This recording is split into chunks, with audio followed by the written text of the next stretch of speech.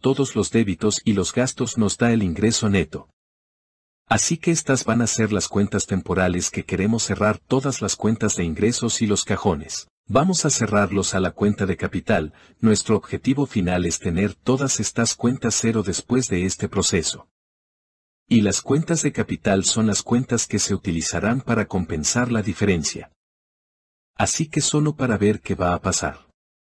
Y si pudiéramos ver esto, usted sabe muy fácilmente sin hacer una entrada de diario lo que este número debe ser. Así que no hacemos esto con los estudiantes, solo una demostración, vamos a decir que si eliminamos todos estos números estarán desequilibrados en 560, 8000.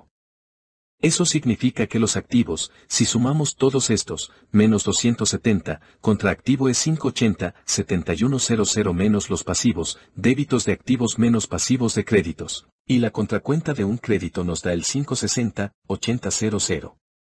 Eso es lo que necesitamos para estar en equilibrio aquí. Eso significa que estas cuentas de capital